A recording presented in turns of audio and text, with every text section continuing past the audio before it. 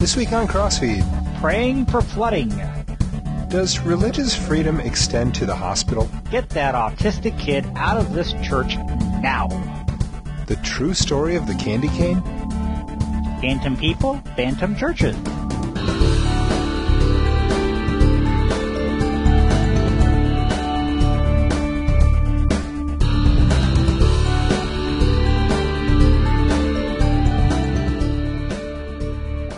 Hello, everyone, and welcome to Crossfeed Religious News. I'm Pastor Dale Critchley, pastor of St. Paul Lutheran Church in Delaware, Iowa.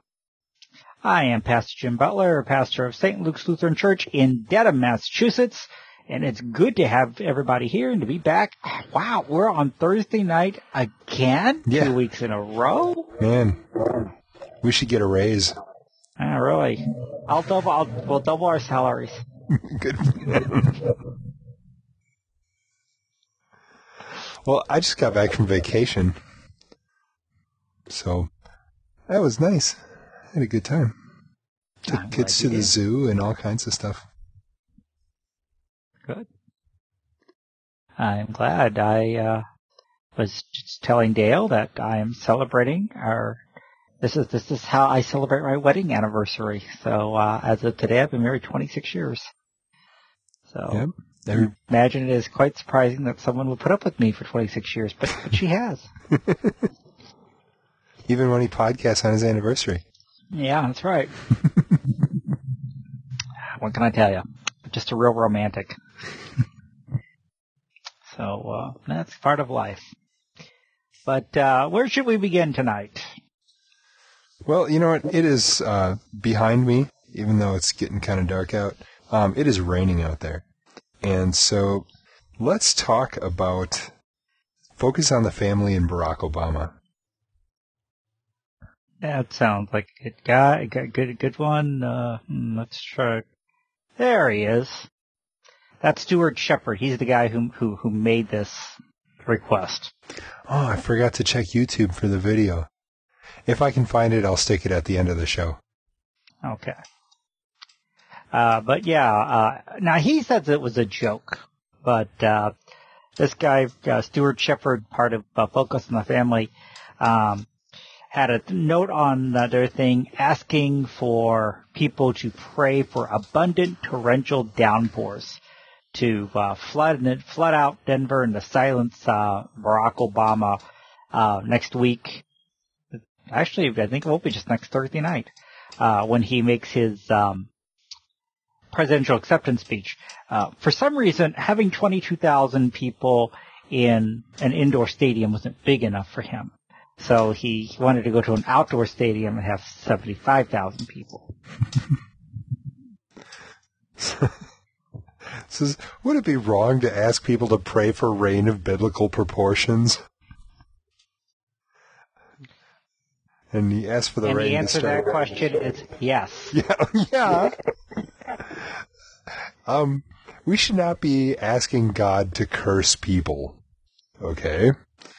Uh, that would be wrong. So, now, they, they pulled it down, what, uh, 24 hours after it was posted. And, uh, he says that it was intended to be mildly humorous. Your hate has made you powerful. Isn't Focus on the Family is supposed to be a Christian organization? Yeah. This was not humorous. This was not funny. This was, and it's interesting how many focus on the family supporters told them take it down.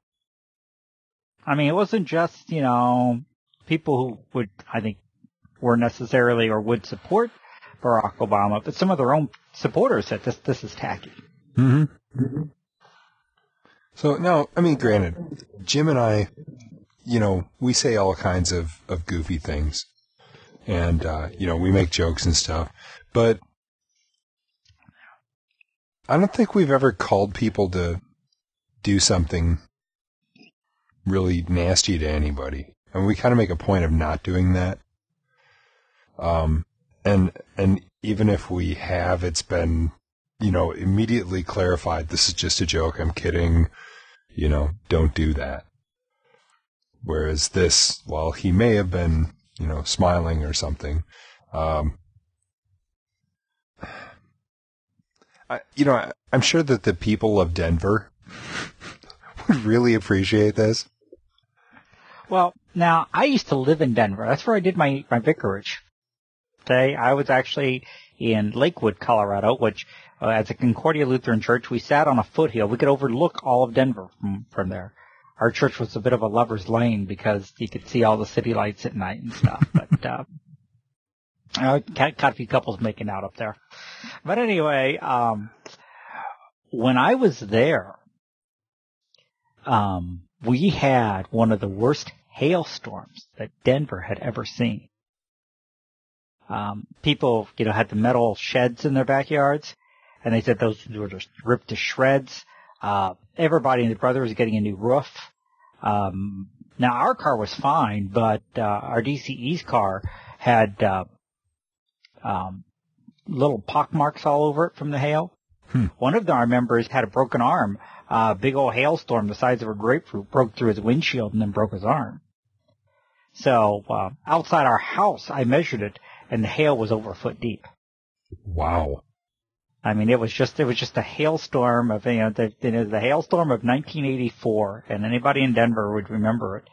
But the, the but when they're in Denver, they get a storm almost every afternoon around three o'clock. It rains, um, and so yeah, you know the, this idea of getting a, a huge storm like like that could actually happen in Denver. You know, I, I was there through one of them. It really can happen. Um, and they often get hailstorms in the afternoon. Or, now this is another, the other one, of course, famous one for, for me in Denver was the 1985 youth gathering. And the, no, not 85, 89, 89. Yeah, I was there. Famous youth gathering. And the, The Red Rocks Red Amphitheater. storm. Yep. Yes. Yeah, I was there. The storm. Yep. Okay, you, you and me both. You are probably a teen. I, yeah, I was a youth. Okay, yeah, I, I was a pastor. God, I'm so old. Anyway, um, thank you.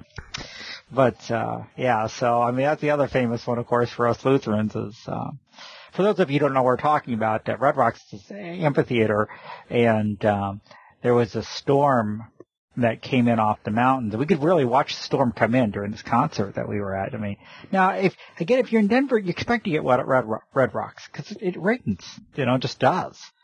But this was not a rain. This was a storm, and uh, Red Rocks is made to f- drain very quickly in the rain. Well, there's another word for that: flash flooding. hmm And so then it was compounded because they were supposed to have these school buses pick us up, but some guy had had a mild heart attack and they brought in Flight for Life to fly him out of there and that couldn't leave. And so all these school buses were stuck and till what, one, two in the morning? I don't of know, course I just remember sitting and there. there's this freeze coming off this mountain and we Yep. were all freezing to death up there. Yep. Yep. I I just remember. Uh, well, I remember it getting cold, and it started to rain, and we're all sitting there, and we're getting cold, and they keep going on with this concert, and then the wind shifted, so that the the the covering of the amphitheater, uh, all of a sudden the wind shifted, so it was blowing toward the band, and then they decided it was time to stop because the band was getting wet. And you know, when you're using uh, electrical instruments, Oh, well, that's when it really started coming down. Again, if you're Red Rocks, going out there, it starts showering on you. That is nothing new. I mean, it happens all the time up there. But anyway, but going back past our story here, um, back to, back to, back to, uh, uh, Barry, um, and doing his acceptance speech, uh, it could come into a terrible storm out there. That, it would not be unusual for Denver, but we really don't hope for it. And we certainly, certainly shouldn't be praying for it to happen. but it would give new meaning to "Hail to the Chief." That's true. on that note, it is time for us to move on. Um, hang on here. For some reason, we have a problem behind me, and I'm going to see if I can get this to be reset. We interrupt your regular broadcast to bring you this important news bulletin. There we are. That looks better. Uh, where should we go? Boy, I think we can only go uphill from here, so. That's for sure. um, I don't have a good transition. You know what? Do you think they'll give away candy canes? There you go. Yeah, maybe they'll give away candy canes. Um, that's a horrible transition, but oh well. Some some nights we got it, some nights we don't. Um, anyway, uh, this is a, a, a I don't know. It's one of these things that got to be a a, a huge thing again. That I don't know. I just wonder sometimes if anybody has any common sense. This is there's there's kind of two things here. The whole thing is kind of goofy. Um, first of all, it was this was something happened in 2003. Uh, Joel Curry, who was 11 at the time, made candy cane style Christmas ornaments with a note that school officials considered religious literature. Um, this was that you've probably all seen it. The meaning of the candy cane, which I love this. Refer to Jesus six times and God twice. They oh counted. no! it's sort of like when they watch the, these like really profane movies and they go, well, there were, you know, 37 instances of nudity and, and this swear word was said this many times, this swear word was said this many times. And it's like, um, if you don't think Christians should be watching this, why were you? Now, th- th- there's a classroom project. The, the students, it sounds like junior achievement here. Uh, the students were to develop and sell products. And so he developed these, these Christmas, uh, ornaments, uh, with the, so, you know, story about the, the candy cane. And, um, then, uh, he received an A on the, on the assignment, but then he was told he had to remove the Christian message.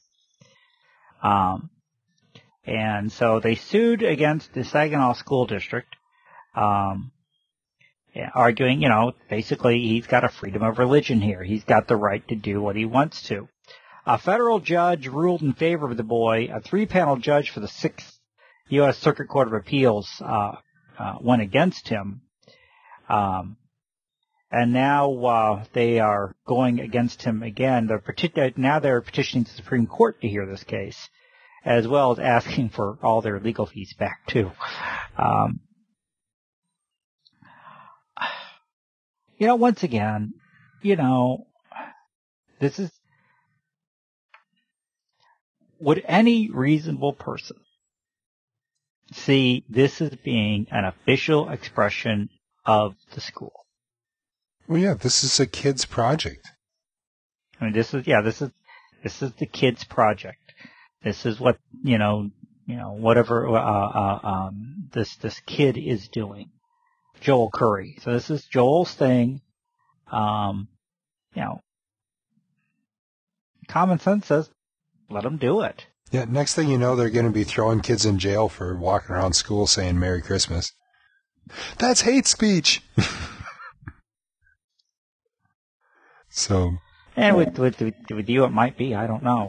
Uh, but, um, uh, you know, uh, again, realizing that religious neutrality is religious neutrality. So if some kid put out uh, a thing with a Wiccan symbol on it, how would we feel? You know, what would we think? You know, was that okay? I wouldn't have a problem with it if it was his personal project.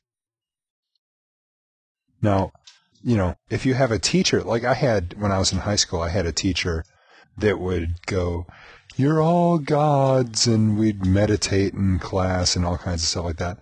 That I have a problem with. Because then it's the teacher um, it, uh, giving out religious doctrine and and um, encouraging didn't require anybody to do it, but encouraging students to be involved in uh, you know particular religious practice going on in the classroom. Um, whereas here, this is just it's a kid's project, and it's not it's not that the the school was expressing anything; it was the kid expressing, it. and that's the difference. The cool the school cannot express any kind of religious preference but it can't prevent students from doing it.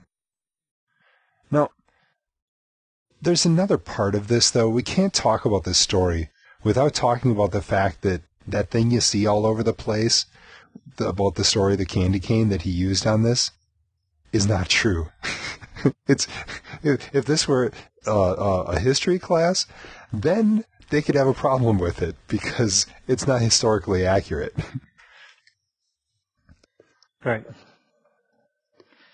But uh, yeah, that's from a, a Snopes article. Uh, uh, anybody does not know to go to Snopes.com. You should know to go to that. Yes. And um, you know, they they go through the whole thing and say basically, this is this is not it. this is not the story.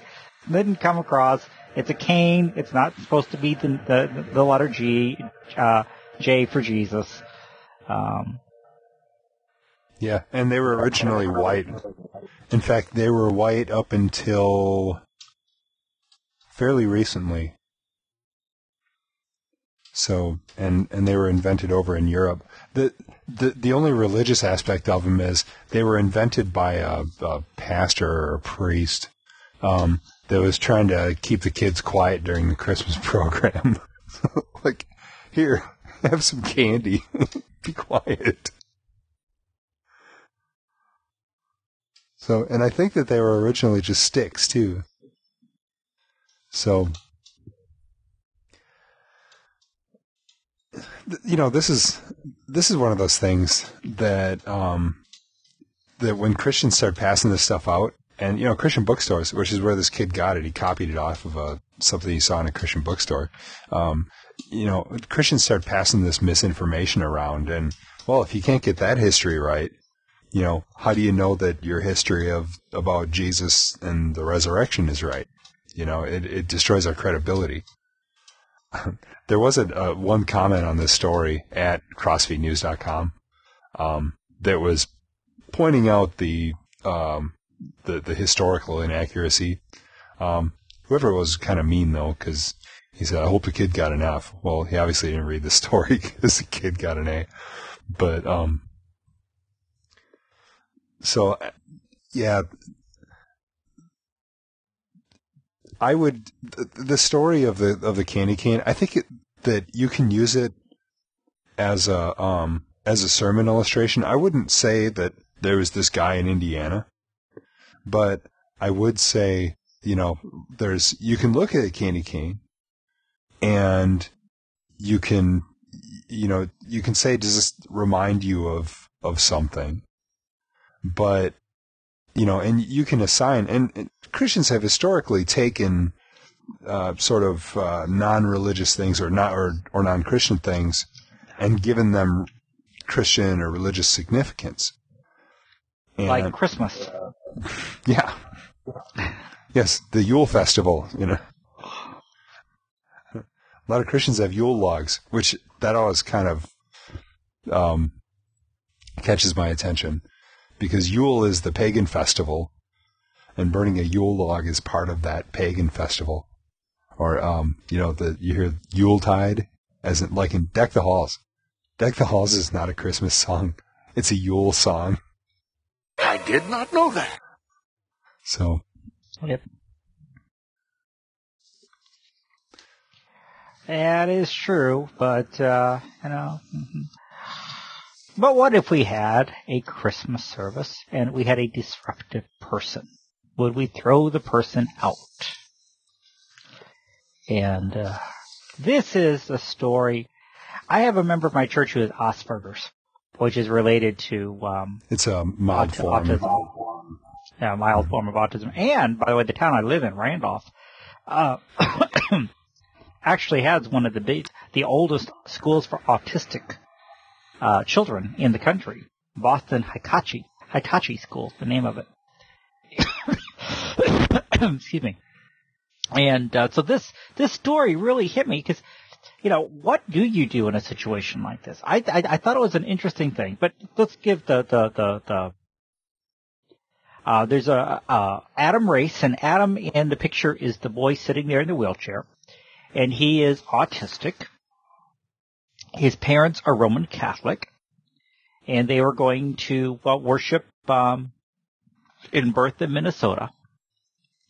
and he's autistic. And the priest said Adam spit, wet his pants, and made loud noises, and nearly ran over people while bolting from the church after services. And so he basically told the family, you cannot bring him in here acting like that. You cannot bring your son to church. He's disrupting everybody else's attempt to worship. Um, and then it was, uh, I guess they actually brought suit against, against the church and the, um, uh,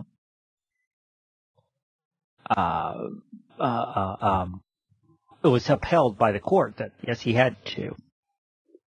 Maybe I'm wrong about that. Maybe I've got that part wrong. Yeah, I think you're Uh, right. Yeah, they upheld a restraining order barring him from the services. So Hmm. yeah, it actually did. They got a restraining order against him from coming in. Um, and it made quite a furor. But my goodness, what do you do? How do you? How would you handle a situation like this, Dale? You know, that's a good question. I think I would definitely want to talk to the parents and say, or I guess the mom in this case, um, and but and you know, and and talk about the situation. And it sounds like they did try to talk about it. And um, and mom says that the uh, these reports are exaggerated. Um, but you know, I, I think that there needs to be a happy medium here.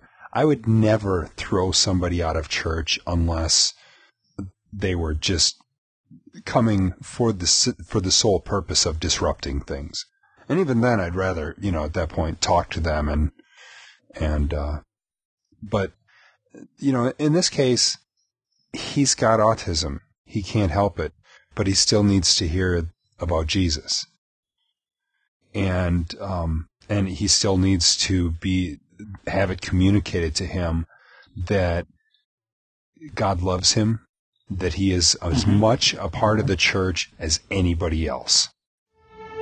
Why do you lay these troubles on an already troubled mind? But how disruptive can you allow someone to be? I mean, because they, they they talk about some other stories in here. Um, uh, you know, a California man was kicked out of a health club for screaming. A North Carolina boy was taken off a plane before takeoff after having a meltdown. Um, a Southern Cal- South Carolina girl was ordered out of a restaurant for, uh, for crying. Um, you know, you, you, uh, and some, some kids, of course, are just, um, I mean, you know, have, have bitten, have actually chewed through their, their uh, cheek or they start banging their head against the wall. I mean, how, how, I mean, in our case, it's a mild form of, of autism. And, uh, the kid in our church, you know, he, he will get up and just start, start walking around during the, the sermon and generally often get up and leave. You know, and it's not really disruptive. But how, how far can you let something like this go? I mean, to what, what, when do you say this is, other people are trying to pray here and your kid is sitting there being very disruptive? Well, you know, when we have little babies in church that can't control their behavior, you you give them a little time, or you know, you try to calm them down. If that doesn't work, you take them out for a little while until they calm down, and then once they're calmed down, you can bring them back in. And that's you know that's pretty standard practice across churches. And I would think that the same could be done here that all right if if your child um you know is is having not because they're a baby but because they have some sort of um you know disorder that is uh making them unable to control their uh actions or behaviors then okay well you know usually these things sort of kind of pop up and then after a while things settle down and then they're okay again and so okay well then if if this starts to get out of control, take them out. And I'm assuming that you know parents are able to control their kids uh, as far as you know take them where they need to be taken at least. Um, and if if know, especially we we have a, a example in here of an 18 year old, you know, if they're kind of strong, maybe you need a couple friends to to help you out. You know, maybe some sort of um, uh, restraint. You know, like they've got those um, those harnesses that you see people walking around the mall sometimes. It's like a leash for kids. And it's, it doesn't go around their neck, it goes around their, their chest. And maybe something like that so that that's, and you have the, the other end of the leash around your wrist or something so that if they all of a sudden get up and want to take off running, you've got them and, and you can hold them back. And then, you know. Yeah, but uh, a, a couple hundred pound 13 year old, you're not going to hold them, leash them back very easily. Well, Um, although, you know, there's other ways you can ad- adjust too. It's interesting. At the end of the story, it talked about, um, uh, an 18 year old named Walter Boyles.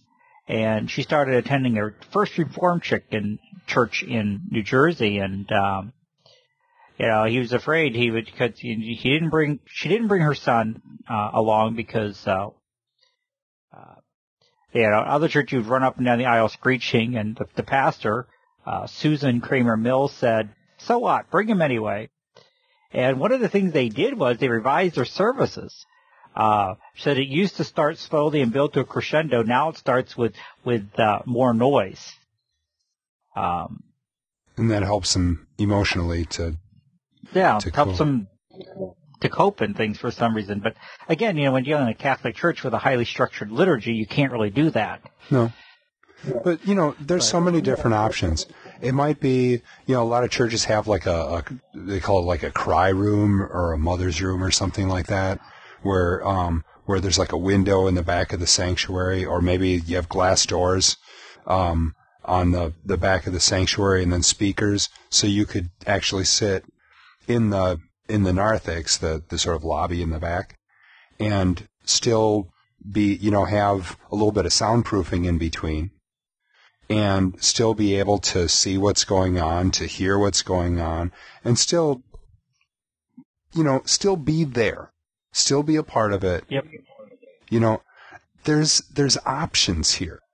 You know, maybe it's going to require, if this is a family that wants to be in church on a regular basis, maybe it's going to require a little bit of work to, um, you know, maybe there's a, the church, if the doors between the narthex and the sanctuary are wooden, say, maybe it's going to require the church to buy new doors and put in some glass doors.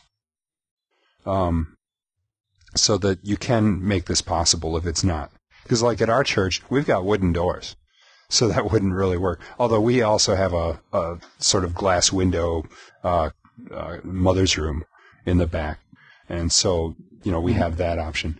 So That would work. Or, or you know what you could do? Another option would be, and very cheaply actually anymore, um, buy a get a video camera, run a wire to a TV set out your um, out to another room Mhm. where they could watch it on a Closed circuit. circuit TV. we've done that for funerals where we had more people there than we had seats for. Um, and we have too. So it, it would work. I mean, you could do something like that. Yeah, worst case scenario. yeah, But I think what we're basically saying is there should be other options here other than telling the family you can't bring your kid to church. right. And, uh, you know, and because, you know, a- the child's name is Adam and, and Adam needs to know the gospel. because, uh, his, his namesake messed it up. Uh, Adam's living with the result of that sin. Uh, and, uh, but he needs to know there's a second Adam who redeemed him, who loves him, who died for him, and one day he's going to rise again and he's going to be completely healed. Yeah. Yeah. And the family needs to hear that message too. hmm You know, that, that even an incurable, uh, disease, God has a cure. And he will give it to us when the time is right. Oh, very nice, Blaine. The cure of the resurrection. Yeah. So, well, we pray for the, do pray for this church and, and pray for, um, everyone involved in this situation. Yeah. But what if the church didn't really exist? Don't ruin the fantasy, okay? This is, this is really bizarre. I had to get about halfway through the story to really understand what was going on. Um, we have a pastor says he was defamed in a scandal involving allegations of phantom churches in the Rio Grande Valley. and he sued the Baptist General Convention of Texas for libel and slander. His name is Otto Arango, And that, that's, that's him behind me. That's Otto. and uh, basically he and a couple other pastors uh, claim that they started 258 new Rio Grande Valley churches, which received about 1.3 million dollars from the denomination. That's a the lot of new churches in one area. Baptist General Conven- Convention. Um, And uh, so they did an investigation to see whether these churches actually exist. And they included there's they concluded there's only about five to ten of them, as opposed to 258. and but now he is saying that oh they they did exist. Um, he's lost money because people don't trust him now. Um, he has pa- uh, he, I, I love this. Is there's past and future mental anguish. Uh, so mental anguish to yet to come. Uh, It's the now and the not yet. all right, that's right. Yeah, the now and the not yet here, and uh, so he wants uh, he wants his money. So he's suing. He doesn't say how much he's suing for. No. I suppose. Oh, yeah, here. Oh, no. No, that's not it. So, I think if this guy's gonna sue, uh, he first needs to, if, if he claims that all these churches exist, or, or even if they did in the past, 258 of them, there ought to be some records somewhere. If he's receiving money from the denomination, he better have accountability for that. And if he doesn't, then uh, he should be happy that he hasn't been thrown in jail for embezzlement. Right. Yeah, that's what gets me. The report lacked the, the report cited lacks oversight on the part of the Baptist General Convention of Texas. Now, I sit on the board of directors of New England District and Lutheran Church Missouri Synod. If we had some, if we if we lost 1.3 million dollars, they'd be calling for my head. I mean, you know, what the heck are people on the board of directors doing? Um, you know, I mean, it'd be all over us. And you're right. This guy's probably. They, I and the second question would have been, why didn't you press charges? Yeah. You know, I mean, you you know, if he if he embezzled, you know, that kind of cash, he should be, you know, in jail. I, um, because otherwise he's going to do it again. Mm-hmm. Yes, he Somewhere along the line, he will do it again. So you know, if if his claims are true that he didn't actually do this, you know, all you got to do is audit the books. If he doesn't have the books to back it up, then you know th- th- there ought to be, you know, if he had 258 churches, let's uh let, let's pull up some witnesses for him, like good 500 witnesses. That's only like two per church to say, yeah, we used to have this church. So this really, it's, I'm sorry, but 258 churches, it shouldn't be that tough to prove that some of these things existed at some point. You know, even if we're talking about like these, uh, cell churches or some, you know, real small kind of deals. If he was pulling this kind of money, this wasn't just a bunch of people getting together over coffee and um and and doing a Bible study together. Right. So, you know, the thing that, that bothers me the most about this is the comments on the page. Yeah, they're just really vile, aren't they? Well, you know, the thing is, and I, I just, I printed off the first page for reference on this, and uh, the third comment down, as I'm looking at it at this point, is typical Christians, LMAO. Right? This is the biggest problem. The biggest problem with this story is not that this guy stole all this money, if that's the case. Right? The problem here is that it makes Christians look bad, and therefore it makes Christ look bad. And, you know, people see this stuff and they say, if that's what Christians are like, I don't want to have anything to do with them. You know, and, and we've talked about that before. You know, people don't realize the drastic impact of sin.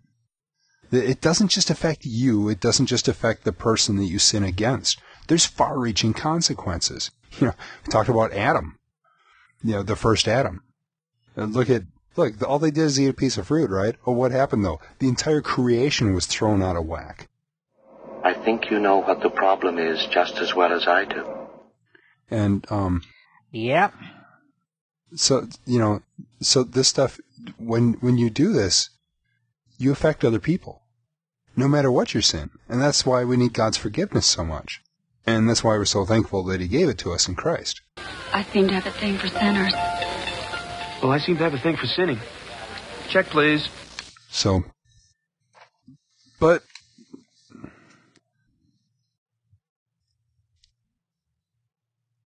Uh, I don't know what else you can say. It gets a little bit. I don't have a good transition. Well, I can't think of one either, but uh, let's go off then to Last story. California, which this one really frustrates me. So the California Supreme Court ruled unanimously, I might add, that. Um, uh, and by the way, this story is interesting because Dale and I both both submitted it. So, uh, but uh, he did it first, so we have to use his. Uh, that doctors cannot use their religious beliefs to deny treatment to same-sex couples. And in this case, it was uh, this was uh, uh, two a lesbian couple who were suing two doctors at a North Side North County clinic because they would not perform artificial insemination because their Christian beliefs prevented them from impregnating a, a lesbian Um, Now, we've talked about similar stories in the past. And this just points out that when it comes down to now this the really interesting thing here is that we're talking about a constitutional right to freedom of religion versus freedom of sexual preference which is not in the constitution. And the part that's not in the constitution won out over the part that's in the constitution. We're in trouble.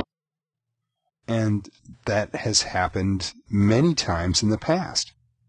I don't understand when you're talking about a Supreme Court, which, you know, the California Supreme Court, which their job is to interpret the Constitution. I don't know where they're getting this stuff.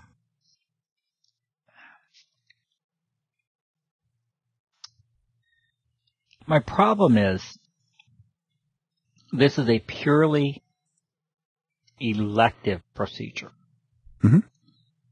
Um, I mean, this is not an emergency room visit. No. This is not a heart problem. I mean, this is a decision um, to have a child, which is fine. I have no problem with them wanting to have a child.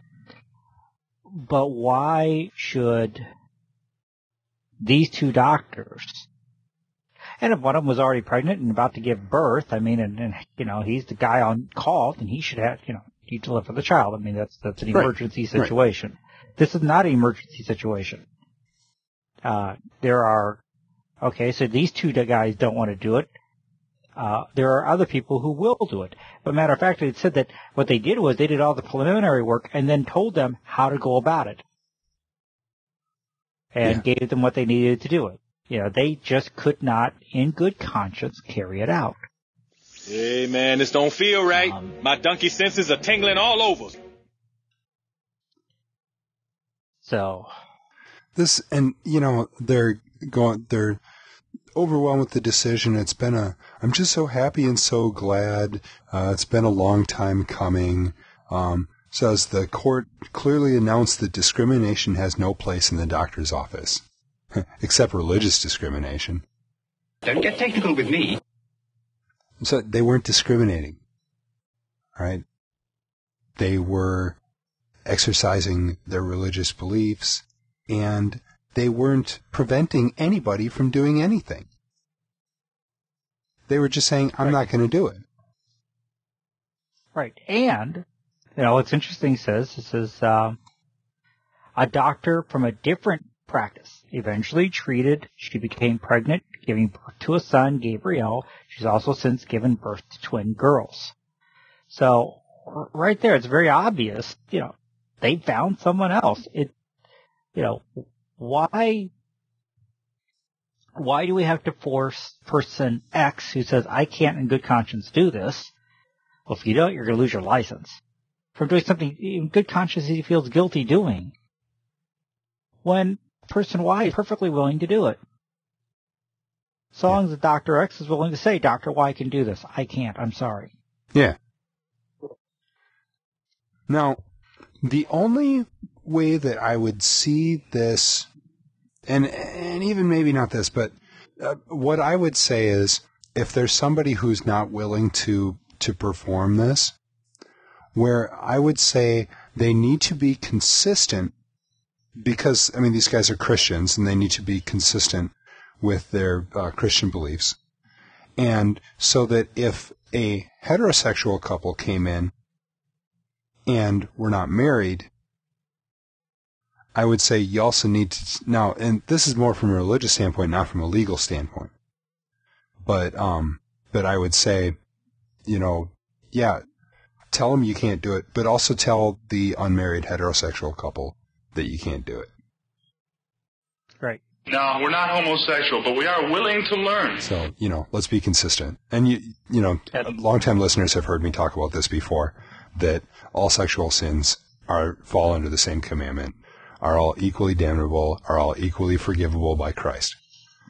And, um, and, and you can't, you know, you, you are, if, if you pick out, um, uh, homosexuality and say that that's somehow worse than other, um, sexual sins, then, then, then you're sinning.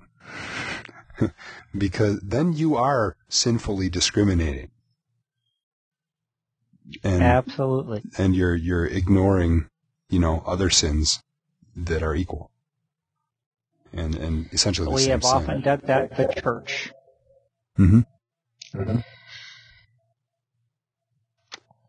Well, we got a comment from last week, and I do appreciate it. I don't think it was a signed comment though; it was on YouTube, and um, it was just a kind of a one sentence uh, uh, thing. Is uh, dealing with our our um, our Mormon nudist story, and uh, the guy simply said, uh, "Got after us really." I don't want to quote it directly, but you know, got after us for mocking Mormons. You know, just you know, because you're anti-Mormon, just like the majority of your audience and I guess that was probably directed at me uh, for a couple of my comments. First off, I don't think we were mocking Mormons. If anything, we were mocking a Mormon nudist. Uh, maybe mocking nudists a little bit more than Mormons. Um, however, I think it was probably especially directed at my comment that, um, uh, well, maybe he had a burning in the bosom that told him this is okay. How do you tell him it's not? And what I meant by that is whenever you determine the truthfulness of your belief by an experience, then you really can't deny what somebody else says if they also point to that same experience or a different one. Mm-hmm. That's the problem with ever going by experiences that you've had. Because how do you make, how do you decide this, this experience is normative? This experience is what, what seals it. Um, as opposed to an external word. Yeah, and you know we it's it's not just Mormons. There's a a lot of uh, branches of the Pentecostal movement that have the same problem. Mm-hmm. You know, so you end up with you've got well, God declared to me that uh, that the the church should be called the Church of God, and you got somebody else that says God declared to me that the church should be called the Church of God in Christ. Well, which is it? Did God change his mind? You know, And um, so there. Now I'm picking on Pentecostals, all right. But we're not trying to pick on any people. We're just pointing out an inconsistency in the belief. And if people feel that our beliefs are inconsistent, please let us know. We'd be happy to discuss them. Uh, or a, a, good example is uh, now down in um, Florida. Uh, the guy in charge of the Florida outpouring uh, is getting divorced from his wife. And, you know, what if he just say, well, God told me this was okay. I had experience that, that showed this is this is permissible. Well, no, what does God's word say? Right. And so actually then, you know, I mean, that's, and that would be our, our, our friend would be our, our issue then with, with, uh, you know, uh, because the Church of Jesus Christ of Latter-day Saints, you know, pushes the burning of the bosom as being a, an experience that tells you what they t- say is true. Right. Um, and I've had a lot of them, a lot of Mormons tell me they've had the burning in the bosom. They, they know it's true because of that. Then how can you say, well, this isn't true or this isn't correct? Right. Because and, really that, that experience is supposed to trump anything else. Yeah, and I've I've talked to people. Uh, I've talked to Mormons. I've talked to people who have had experiences uh, talking to Mormons where they, you know, they lay out from the Bible. You know, here's where the the Latter day Saints teachings run contrary to God's revealed word. And, and they, the answer usually when it comes down to it is, um, is the, the trump card is, well, I've got this burning in the bosom, so it doesn't matter what you say. I know this is right. Well, I'm sorry, but you always have to go back to the Bible. And if what you believe contradicts what God says, then what you believe is wrong, no matter what branch of, of religion or, or anything that you're coming with, from. So be happy if if uh, if that person is is watching this as well, um, which I'm hope so. Uh, but you know, we would be happy to discuss it further. Right. And by the way, neither Dale or I would consider ourselves anti-Mormon or anti-Pentecostal or anti-anything else. We are, however, unapologetically pro-Lutheran. Yeah. So everything yeah. we look at this thing comes through a a a, uh, a conservative Lutheran lens. Although and, we're not afraid to poke fun at Lutherans either. So no, if, in fact, I would say if there's anybody that we pick on, it's Lutherans. That's our own church body. But right. we are unapologetically, um, you know, Lutheran, and so we, we are, you know, overall pro-Lutheran. So that's, that's mm-hmm. really our, mostly mm-hmm. our, our perspective. But again, you, you got comments? We love comments. Uh, and we'll talk about your comments and try to, try to address them the best way we can. You can post, if you're watching this on YouTube or Flickr or whatever, you can post right there in the comments section. It gets emailed to us right away. Uh, you can email us at podcast at crossfeednews.com. You can follow me on Twitter. okay. Yeah, Crossfeed News. Twit, uh, uh, Dale, if you're watching this on iTunes, just click on the screen. It takes you to a comment page. By the way, please visit our website, uh, crossfeednews.com. Uh, you can post stories. It really is this great little bookmarklet thing that Dale's got there to use for uh, Safari. Uh, I've been using it this week for the first time. It's just absolutely great. It'll work in any browser. Um, okay, so you know, really encourage you to use that. That it works wonderfully. Um, share your comments. Um, you know, we, we kind of pick the stories on what's the most popular through the click-throughs. So, um, read it, mark it, inwardly digest it. that was a Lutheran inside joke for anybody that didn't catch it. Um, uh, there was something else I was On say, that Lutheran remember, note, so. God bless you all. Have a good rest of the week. And uh, we will see you uh, a little bit late next week. Um, because uh, I've got something else going on Thursday night, and so we won't be able to record, but we will record on Sunday. Yep. So thanks everybody for tuning in. Good night, everybody. God bless.